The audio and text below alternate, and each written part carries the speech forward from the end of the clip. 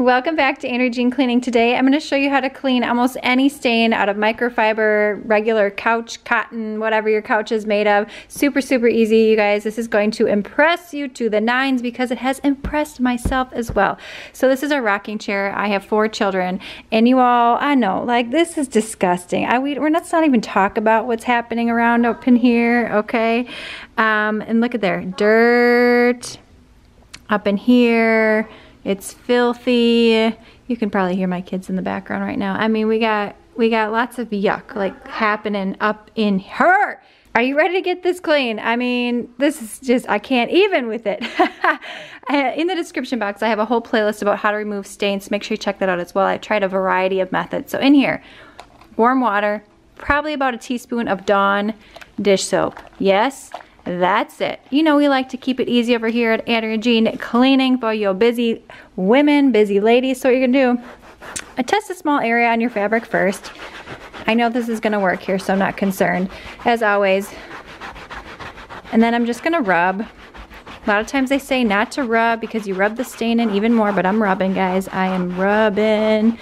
They recommend that you blot, and that does help, but I like this even better here. So I'm gonna do this whole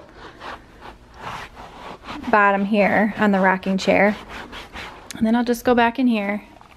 And then we're gonna let it dry and I will show you what has happened. I mean, it's remarkable. Dawn dish soap is amazing for so many different reasons. If we're not friends on Instagram, make sure you hit me up at Andrea Jean Co. I teach women how to turn their passions into profits and this cleaning and organizing channel is one way that I do that. Here we go. Obviously it's disappeared now because it's all wet, but I'm gonna show you. And a lot of times I know you can get that ring as the stain spreads, but I have not had any issues doing this. In fact, I recently had chocolate, which I thought was poop on my couch. I had to do the smell test to be sure. Again, I have four children, and um, it came up so easily on my couch as well. So we'll get this here, make this look like new. Microfiber can be a little bit finicky. I did a cleaning method on the couch in my office downstairs. I used a whole different method and that one worked well, but I like this one better. So I'm just gonna get all up in here. There we go. The armrests get really dirty too, especially this color of microfiber. This is so, so simple. I got a little wet back there and just rub it in. Again, if you're concerned, just test a small area and decide maybe the underside of your material that you're gonna be using. Get back in there. All right, I'm gonna let this dry. I'm gonna assume um, if I open the windows up, this could be dry in about 45 minutes or so, but we'll check back here and see if the uh, whatever was happening around here is gone. So I just want to show you here on our big, big sectional. So this is where the mystery brown stuff was. Again, it was chocolate, but I just used the Dawn and the warm water and just rubbed it and it rubbed right off. So super cool. I just want to show you to give you an idea on the different fabrics here. Was it you putting chocolate on there?